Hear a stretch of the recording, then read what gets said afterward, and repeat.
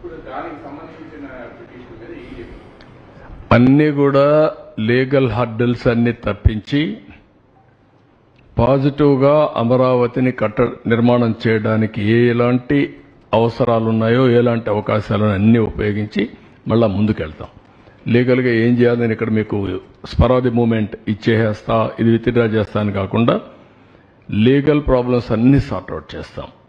త్యాగం చేసిన వాళ్ళపైన పెట్టిన కేసులు కూడా రివ్యూ చేస్తాం. అన్నీ చేసి మళ్ళా ఈజ్ అవుట్ చేసి ఒక కండీసివ్ ఎన్విరాన్మెంట్ క్రియేట్ చేసి అమరావతి పునర్నిర్మాణం ప్రారంభమవుతుంది. ముందుకు తీసుకెళ్తాం. సార్ గతంలో మీరు రాజధాని స్టార్ట్ చేసినప్పుడు ఫైనాన్షియల్ అసిస్టెన్స్ బాగుంటుందని స్విచ్ ఛాలెంజ్ పద్ధతిలో ప్రాజెక్ట్ పెట్టారు ఒకటి. తీసుకొచ్చి మండడం ఏ- ఏది? సిబిడి సీడ్ బిజినెస్ డిస్ట్రిక్ట్ అని ఒకటి. స్విచ్ ఛాలెంజ్ స్విచ్ ఛాలెంజ్ అది అట్లాంటిది ఏమైనా చేసే ప్లాన్ ఏమైనా చేశారా అట్లా? అన్ని కూడా వర్కౌట్ చేయాలి. అప్పుడు కూడా స్విచ్ ఛాలెంజ్ పెట్టింది ఒక సిటీని డెవలప్ చేయడానికి ప్రపంచం అంతా కూడా వెళ్ళి ప్రపంచంలో ఉండే బెస్ట్ కంపెనీస్ తీసుకొచ్చి డెవలప్ చేయడానికి పెట్టాం. ఇప్పుడు ఎందుకు ఈ ల్యాండ్ వాల్యూ పెరుగుతుంది? మనం ఆలోచిద్దాం. మంచి రోడ్డు వేయాలా? మంచి వస్తువులు ఇవ్వాలా? ఇవన్నీ వేసి దేనికోసం వేస్తాం? మంచి కంపెనీలు రావాలా? మన పిల్లలకు ఉద్యోగాలు రావాలా? సంపద సృష్టించాలా? అందుకే కదా. అలాంటి చేసే ఎక్స్పర్టైజ్ ఉండే కంట్రీస్ ముందుకొస్తే వాళ్ళ సర్వీసులు ఉపయోగించుకోవాల్సిన అవసరం లేదు? వ్యక్తులు కానీ సంస్థలు కానీ కంట్రీస్ కానీ అలాంటి సంస్థే సింగపూర్ సంస్థ.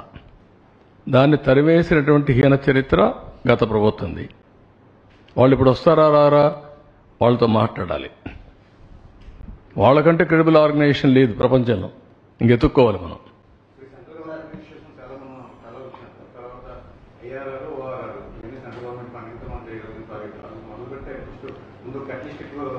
ఆల్రెడీ స్టార్టెడ్ ఆ అటెంప్ట్ అప్పుడే స్టార్ట్ చేశారు. నూట ముప్పై రెండు ఆర్గనైజేషన్లకు గాను నూట ఇరవై రెండు మంది రాలేదు.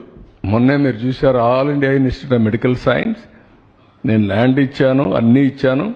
నీళ్ళు ఇవ్వకుండా మూడు వందల బెడ్స్తో ఆపరేట్ చేసే పరిస్థితికి వచ్చారు.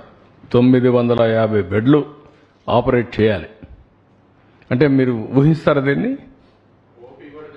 ఓపి కూడా తగ్గించారు. నీళ్ళు లేవు. ఎవ్రీడే యాభై ట్యాంకర్లు అరవై- అరవై ట్యాంకర్లు తీసుకురావాలి. మొత్తం హాస్పిటల్లో పేషెంట్ల వెహికల్స్ కాదు అక్కడ. మొత్తం వాటర్ తీసుకొచ్చే ట్యాంకులు ఉన్నాయి. ఆ పరిస్థితికి వచ్చారు. ఆ నీళ్ళు కూడా ఎలాంటి నీళ్ళు వస్తాయో తెలియదు. Sir, Sir, Amaravati is... One by one, one by one, fast sir, only one or two. Sir, sir, if you, if you, if you, if you think a bit and uh, if you have realized or not, Amaravati is a greenfield city. At the same time, another city is also being built in Saudi Arabia called Neom by Mohammed bin Salman. So would you collaborate with them? Would you, because they have gone ahead, I think.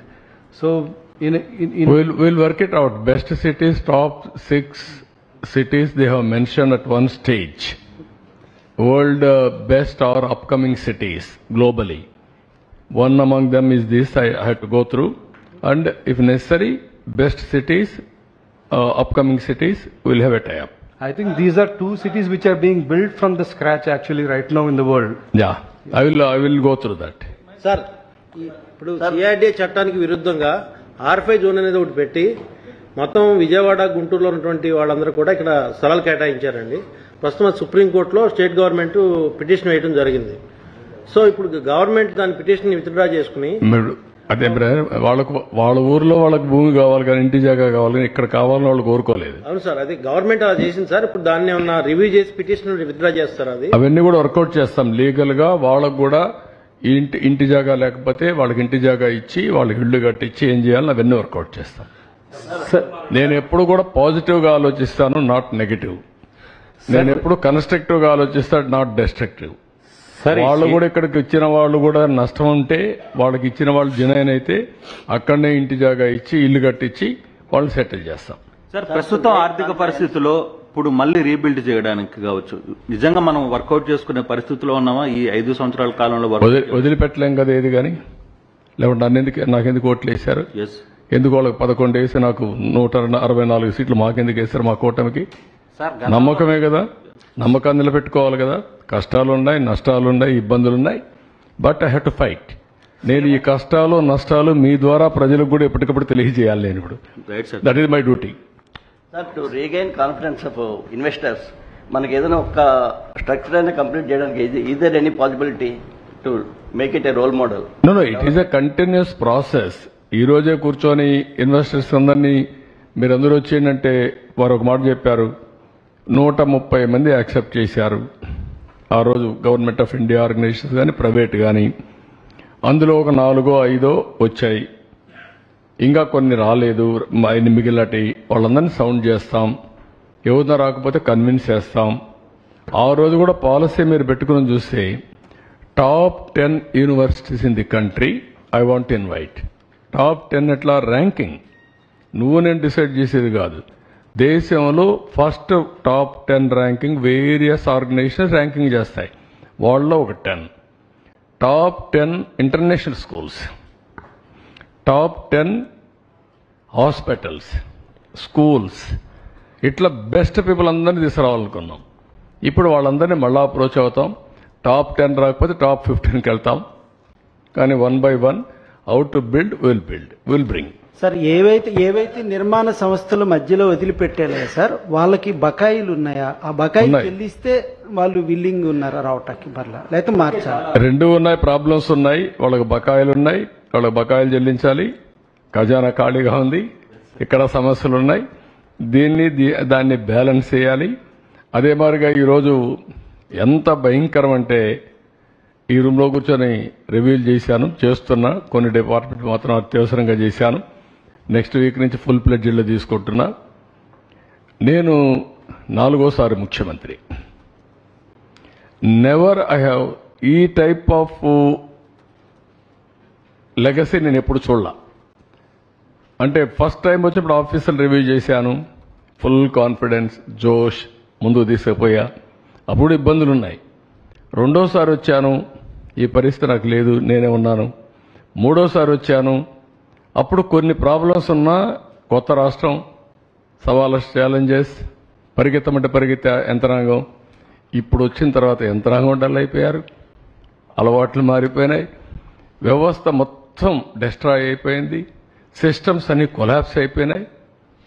మేము వదిలిపెట్టిపోయింది. ఇప్పుడు ఉదాహరణకు ఈరోజు మేము చూస్తే మొత్తం రాష్ట్రంలో మున్సిపాలిటీలో మస్కటోస్ ఉండే స్పాట్స్ ఎన్ని ఉంటాయి అని మేము రీసెర్చ్ చేసి ఐడెంటిఫై చేసి బ్లాక్ స్పాట్స్ ఆ రోజు ఇరవై వేలు ఉన్నాయని ఐడెంటిఫై చేశాం. ఆ ఇరవై వేలు ఎవ్రీ ఇయర్ మూడు నెలలకు ఒకసారి పదైదు పది ఐదు నాలుగు అట్లా అయ్యి జీరోకి రావాలని. అప్పట్లోనే డ్రోన్స్ పెట్టి మస్కిటో ఎక్కడుందో ఐడెంటిఫై చేసి అవన్నీ ఇంకొక డ్రోన్ పంపించి అక్కడే స్ప్రే చేయాలని పెట్టాం. ఇప్పుడు ఏమీ లేవు. చెత్త తీసేవాళ్ళు లేరు చెత్త వేసేవాళ్ళు ఉన్నారు. సార్ రాజధాని అభివృద్ధికి వాలంటీర్గా సపోర్ట్ చేయడానికి వచ్చే వాళ్ళు ఉన్నారు. అట్లాంటి వాళ్ళని అందరిని తీసుకుంటా. ఇప్పుడు కొంతమంది నిన్న కూడా వచ్చారు. ఒక లక్ష రూపాయలు ఇస్తున్నారు కొంతమంది పది లక్షలు ఇస్తున్నారు. ఆ స్ఫూర్తి ఉంది.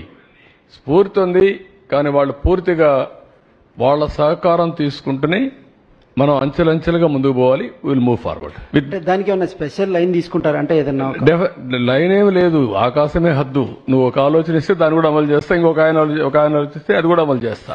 నా నా మనస్తత్వం అదే. రోడ్స్ డ్యామేజ్ చేశారు. ఒక్క విషయం. మీరందరూ ఒకటి గుర్తుపెట్టుకోవాలి. నాకు ఫిక్స్డ్ ఐడియాలజీ కానీ రిజర్వేషన్స్ ఉండవు. నా ఆలోచన ఒకటి. నేను చేసే ప్రతి ఒక్క పని నా ప్రజలకు లాభం జరగాలి. అది ఏ పనినా కావచ్చు. రోజు రోజుకు వాళ్ళ జీవన ప్రమాణాలు పెరగాలి. పేదవాడికి అండగా ఉండాలి పేదవాడికి అండగా ఉండాలంటే సంపద సృష్టించాలి. మళ్ళీ వాళ్ళని ఏ విధంగా చేయాలనో మనం మీరు చూశారు.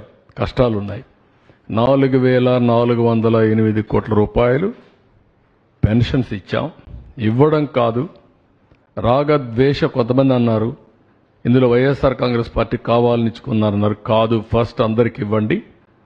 అనర్హులు ఉంటే తర్వాత చూసుకుంటాం కానీ కక్ష విధానం ఎక్కడా ఉండడానికి వీల్లేదన్నా ఇచ్చాం.